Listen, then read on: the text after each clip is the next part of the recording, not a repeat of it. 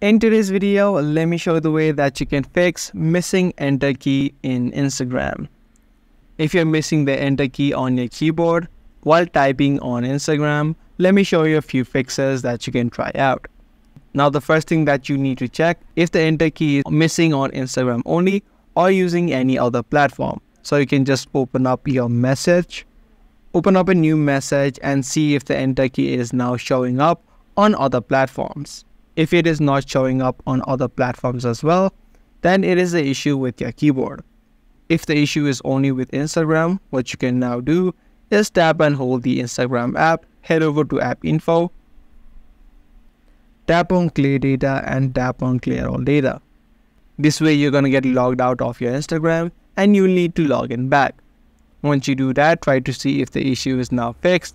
If it is still not fixed, the other thing that you can do is uninstall the app of Instagram from your phone and then again re-download it.